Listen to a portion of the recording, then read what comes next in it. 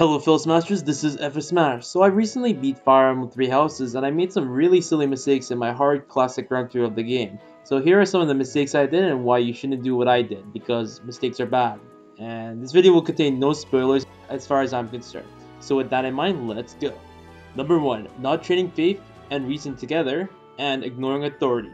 To start, magic classes can learn both magic types. Learning Faith as a mage not only helps you learn Heal, which you can use to heal other allies, you can also learn other skills like Warp if the student can learn Warp. For example, Lysithea can learn Warp. Also, the Advanced and Master classes don't get any class-specific skills, so don't stress about it. But note that if you want to have your female students be a Gremory, you, they need to learn both Faith and Reason. In the long term, you might want to consider investing into that regardless as a master class.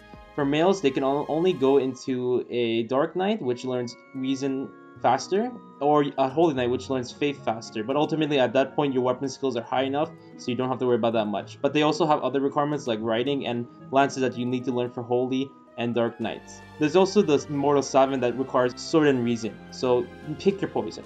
With authority, you really need it as some battalions grant some absurd gambits that can stop enemy movements, place down burning tiles, bring enemies in closer or behind said gambit user and more. And old attack gambits can cause enemies to be distressed which inflict heavy debuffs and are a must when dealing with demonic beasts. Seriously, demonic beasts are spammed everywhere during the mid to late stages and you definitely need those. There are many support gambits, one extreme notable one is Stride. You can get Stride as early as the Seiros Holy Monks, which are, I believe, a D-class authority battalion. They allow for 6 movement, or Blaze, which has a massive AoE attack and deals a ton of damage. On top of that, all battalions can add a certain bonus to your units. Notable ones are Physical Strength, Magic, Protection, which is Defense, Crit, and Resilience, which is Resistance, to name a few. Number 2 is Recruitment. Even with Byleth being a jack of all trades, Byleth can learn only so much without detracting a lot of resources from your own students' teachings. The main appeal of doing this is to have Byleth have the necessary stats you can use to recruit students, but you mustn't worry too much. Get to know what are the students you plan to recruit stat requirements and only focus on one on one of the following stats that student requires and build lots of relationship points with that student. With enough relationship built with that student, you can recruit them easier. It also helps do lots of tea time, as you can both build relationships with the student and you can also increase your charm, which helps reduce the stat requirements needed to recruit students. Support and charm are really key components to recruiting students as they also help bypass a lot of the students' required stats. For example, Felix needs speed and sword, and let's say you lack in speed. You can make up for sword as Byleth is proficient in sword, but in speed, you can just use charm and relationship built with Felix to bypass that. Also, things like gifts, lost items, dining, chores, anything that helps to build relationship is important.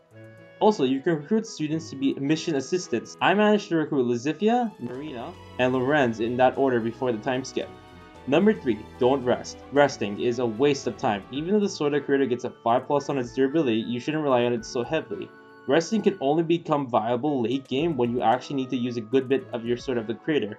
As in early to mid game, most weapons can do the job better, but that doesn't mean you shouldn't be stingy on using this Sword of the Creator. Feel free to use it if you need to secure a kill. Number 4. Not forging rusted weapons. Rusted weapons can be iron, steel, all the way to silver, or, and or rare weapons.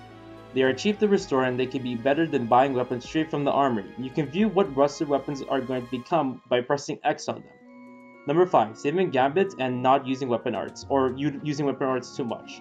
It's best not to hoard or save gambits till the very end of a mission. Gambits can become lifesavers if you need them in a pinch, but you shouldn't save them too often. I tended to save a lot of my gambits for more scarier enemies, but I ended up not using them at all together, and ended up using a lot of weapon arts in return. I ended up using a lot of weapons and spamming lots of weapon arts. But don't get me wrong, feel free to use any weapon art to help secure kills, and don't be afraid to spend your resources as needed in order to clear a mission and making it so the mission is easier to complete. But don't go overboard and let it mess you up long term.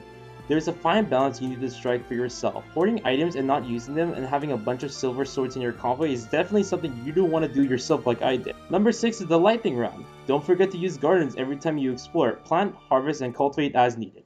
Don't forget to visit the Amiibo Gazebo each time you explore. If you have scanned a Fire Emblem Amiibo or any other Amiibo, they give free drops every time you explore. Don't forget to sell your bullions. They are worth 1000 for a small one and 5000 for a big one. Be sure to check which students support with each other when doing group activities like choir, dining, and more. Don't forget to do choir. It's a one-time use per an explorer and it helps increase faith and authority, and it helps increase bonds between either the two students or Byleth.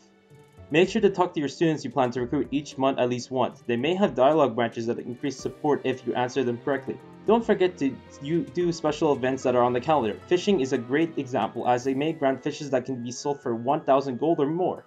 And that's it for the video guys. Thank you guys so much for watching this Fire Emblem Three Houses video. If you enjoyed the video, please please hit the like button and subscribe for more Fire Emblem Three Houses contents and guides and tips and more. Share this video where you feel like it's most appropriate and I'll see you guys in the next video. Thanks for watching.